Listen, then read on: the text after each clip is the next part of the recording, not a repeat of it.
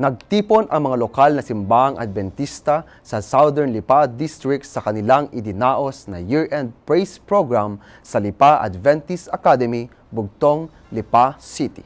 Ito ay ang pinakaunang praise program ng nasabing distrito magmula noong sila ay maitatag ngayong taon galing sa dating Metro Lipa District.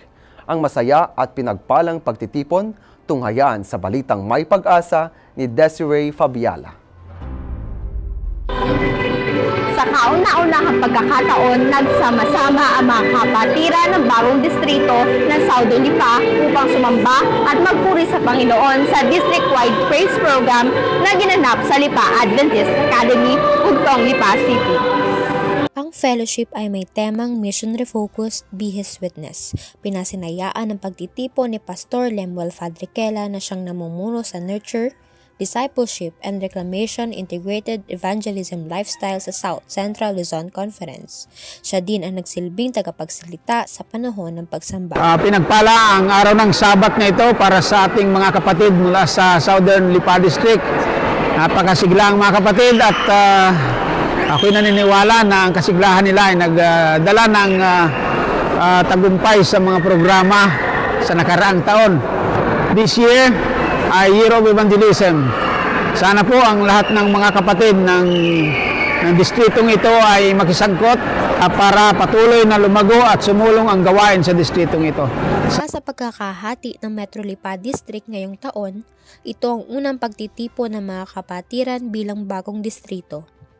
Ang Southern Lipa District ay binubuo ng Lipa SDA Church, Pagulingin SDA Church, Antipolo Hilltop SDA Church, Mataas na Kahoy Church Company at San Jose Church Company. Bukod sa paaralang Sabado at Divine Worship, nagkaroon ng pag-uulat ang bawat iglesia tungkol sa mga gawain ng pagpapalago ng simbahan na naisaganap buong taon. Naging patunay ito ng pakikisangkot ng mga simbahan sa pandaigdigang misyon ng pagpapahayag ng mensahe ng kaligtasan sa kani-kanilang lugar.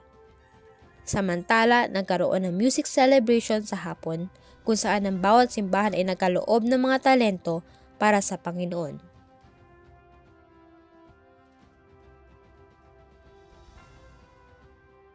Sa gabi, nagsama-sama ang mga kabataan ng distrito sa isang social gathering.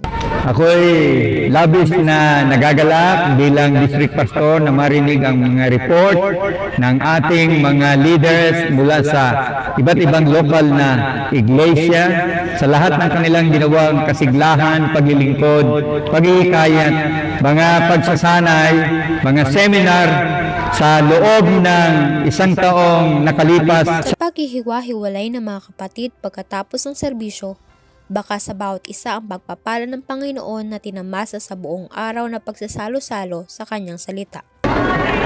Siguro yung pinakamagandang aral na nakuha ko mula sa ating tema ngayon ay ang manalig at magtiwala sa salita ng Panginoon. Uh, gaya nga ng mga uh, binahagi ng ating tagapagsalita ng mga example sa Biblia, sina Moses, sina Gideon at yung iba pa. Kapag tayo nananalig at nagtitiwala sa mga pangako at lalo ng Panginoon para sa atin, tayo magiging ilawan din naman sa iba upang makaakay. Ay na napakabuti ng Panginoon na siyang gumabay at patuloy na gumagabay sa lumalaking samahan ng mga Adventista sa lugar ng Lipa, Batangas. Nawa ay maging daan ng pagtitipon upang sama-samang lumago sa pananampalataya ang bawat isa. Patuloy nating idalangin ang pagkasi ng banal na espiritu sa bawat miyembro ng distrito upang ang lahat ay makilahok at maging saksi para sa Panginoon. Layuning maghatid ng balitang may dalang pag-asa, ako si Desiree Fabiala, nag-uulat para sa Hope Today and PUC News.